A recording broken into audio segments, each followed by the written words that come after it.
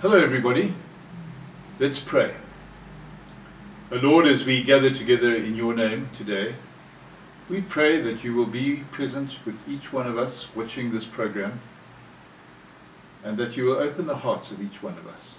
We pray that you will become present to us that, so that we might experience your presence and know that you are God, feel the love that you have for us, and be blessed by it.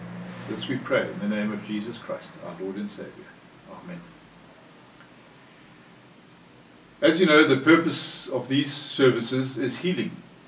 And in previous weeks I spoke about the need for forgiveness, which is an important part of healing, because whether it's physical healing or emotional healing, being able to forgive other people is critically important for us. Just as we need to be forgiven by our Lord, and we receive the grace, the wonderful free blessing that He promises us. But in addition to forgiveness, we also need to be people who are thankful to God, because we each have so much to be thankful for. And thankfulness, gratitude, is an attitude that enables us to draw closer to God, to be blessed by Him. I'm going to read from Psalm 111 from the New Living Translation. It reads, Praise the Lord. I will thank the Lord with all my heart as I meet with his godly people. How amazing are the deeds of the Lord! All who delight in him should ponder them. Everything he does reveals his glory and majesty. His righteousness never fails. He causes us to remember his wonderful works. How gracious and merciful is our Lord. He gives food to those who fear him. He always remembers his covenant. He has shown great power to his people by giving them the lands of other nations. All he does is just and good, and all his commandments are trustworthy. They are forever true, to be obeyed faithfully and with integrity. He has paid the full ransom for his people. He has guaranteed his covenant with them forever. What a holy, awe-inspiring name he has. Fear of the Lord is the foundation of true wisdom. All who obey his commandments will grow in wisdom. Praise him forever. And you will note the psalm began with these words, Praise the Lord. Thank him at all times. And in Ephesians 5 verse 20, we also read, We always give thanks to God the Father for everything in the name of our Lord Jesus Christ.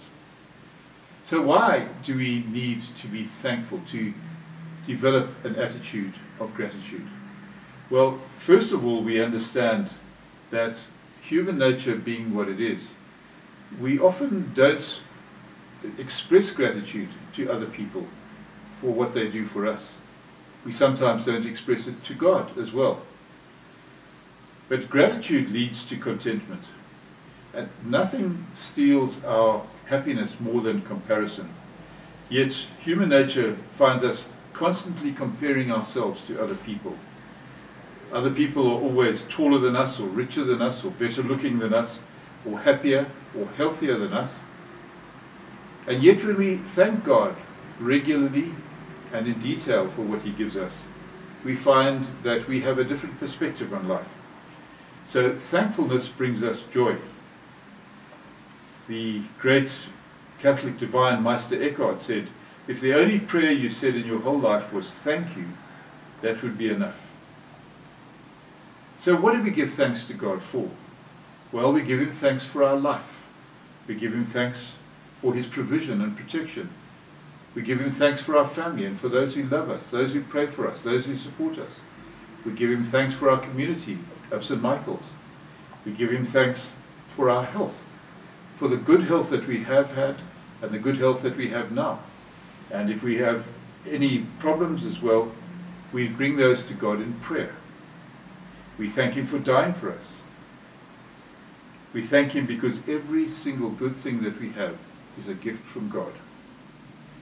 Ralph Waldo Emerson wrote, We thank God for every new morning with its light. We thank Him for rest and shelter of the night.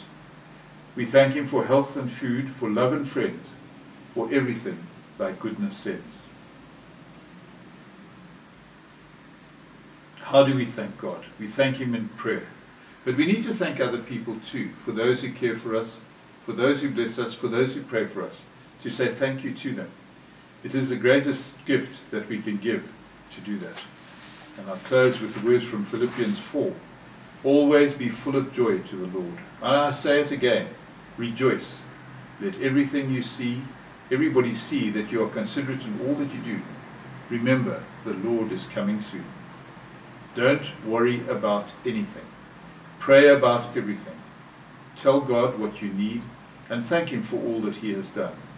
Then you will experience God's peace, which exceeds anything we can understand.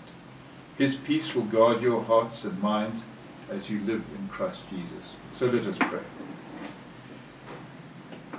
Lord, you know every one of us.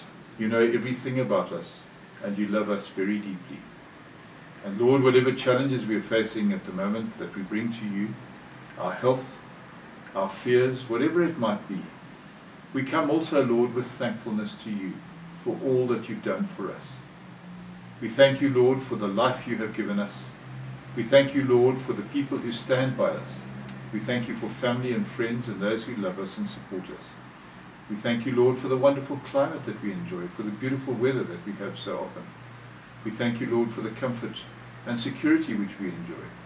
We thank you, Lord, that you bless each one of us so richly and so deeply.